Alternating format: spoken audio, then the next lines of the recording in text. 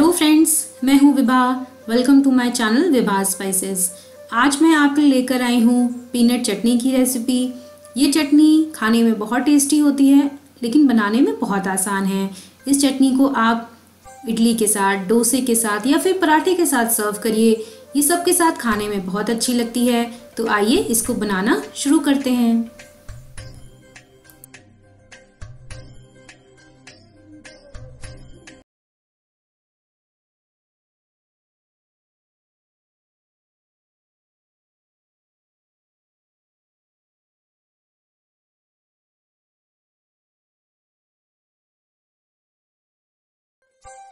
Peanut चटनी बनाने के लिए सबसे पहले मैंने यहाँ पे ले लिया है एक जार और इसमें हम लोग डालेंगे भुनी हुई मूंगफली।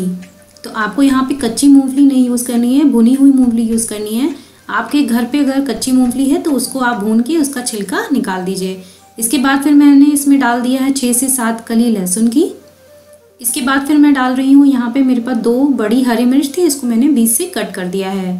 इसके बाद फिर मैं इसमें डाल रही हूँ एक लाल मिर्च।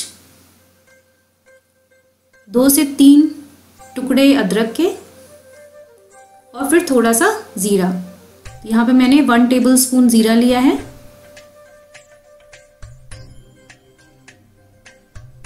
इसके बाद फिर हम लोग इसमें डाल देंगे वन टेबल स्पून नींबू का रस।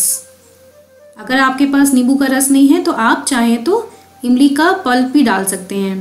फिर मैंने यहाँ पे डाल दिया वन टेबल स्पून सॉल्ट और फिर इसमें डालेंगे थोड़ा थोड़ा करके पानी। हमको एक साथ करके पानी नहीं डालना है। ज़्यादा पानी एक साथ नहीं डालेंगे, नहीं तो चटनी जो है वो अच्छे से पिसेगी नहीं। तो फिर अब यहाँ जार बंद करके अब मैं इसको ग्राइंड कर लेती हूँ। अब आप देख सकते हैं कि चटनी को मैंने एक बार पीस लिया है। तो चटनी एक बार पीसने के बाद ऐसी लगेगी। लेकिन अभी हमको इसको और पीसना है तो इसमें हम लोग अभी और पानी डालेंगे। और इसको फिर और अच्छे से पीस लेंगे। तो आइए हम लोग इसको फिर से पीस लेते हैं।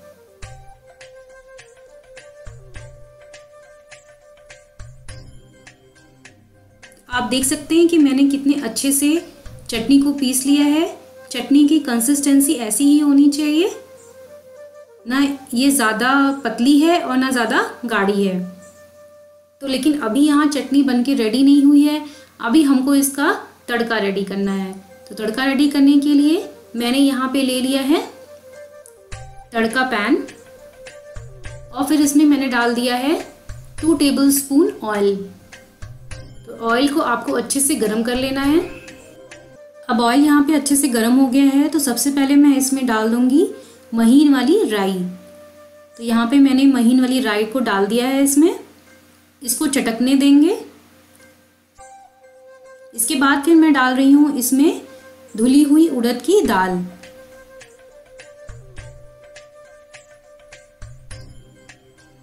इसको भी हमको ज़्यादा नहीं पकाना है, बस हल्का सा इसको रोस्ट कर लेना है। इसके बाद फिर मैं इसमें डाल दे रही हूँ दो खड़ी हुई लाल मिर्च। और फिर चार से पाँच करी लीव्स। इन सबको डालने के बाद इसको अच्छे से फ्राई कर लीजिए इसमें।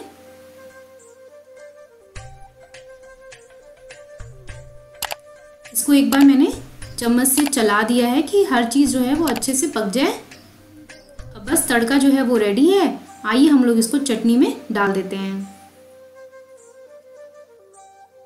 तो बस यहाँ पे मैंने तड़के को चटनी में डाल दिया है। आप देख सकते हैं कि तड़का डालने से ही चटनी जो है कितनी अच्छी लग रही है देखने में। और तड़का डालने से चटनी का जो फ्लेवर है, वो अपने आप बढ़ जाता है। बस फिर हम लोग तड़के को अच्छे से चटनी में मिला देंगे और हमारी चटनी जो है, वो बनकर रेडी है। है ना ये बिल्कुल आसान चटनी की रेसिपी तो आप लोग इसको अपने घर में ज़रूर ट्राई करिए। ये चटनी खाने में बहुत डिलीशियस होती है और बनाने में बहुत ही आसान है। तो मैं आपके लिए ऐसी ही रेसिपीज़ लेकर आती रहूँगी।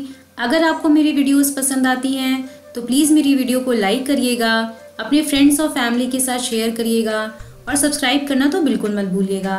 सब्सक्राइब करते वक्त बेल आइकन को ज़रूर प्रेस कर लीजिएगा, ताकि जब कभी भी मैं नए वीडियोस को अपलोड करूँ तो उसकी नोटिफिकेशन आपको मिल जाए। तब तक के लिए stay home stay safe bye thank you for watching my videos